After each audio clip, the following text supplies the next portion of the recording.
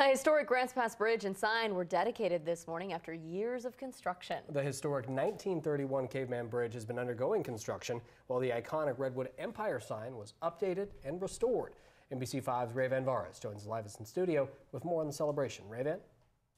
Yeah, that's right, Craig Kristen. Cars from the 1930s and 1940s were on display with the musical band, all to commemorate today's event. Organizers say the bridge and sign have huge meaning to the Grants Pass community.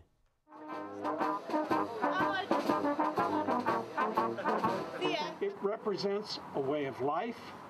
It represents a community that comes together. After much anticipation, the iconic Caveman Bridge was honored Friday in a celebration with people from all over the Grants Pass community.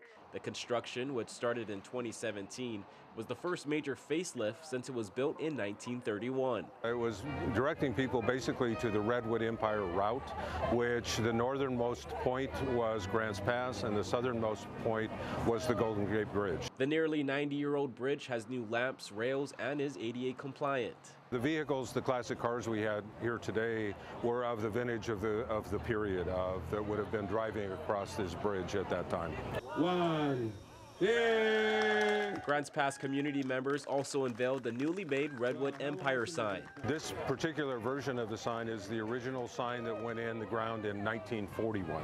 Many Grants Pass residents see the sign as an iconic symbol for home. My mom has stories of that sign, seeing that sign um, as a child and knowing that that meant they were almost there to whoever they were going to visit. These are all things that are symbolic of our history that we don't want to go away. We want to preserve and protect them and have them around for generations to come. The bridge crosses the Rogue River on 6th Street in Grants Pass. It's listed on the National Register of Historic Places. Live in studio, Rayvan Vares, NBC 5 News.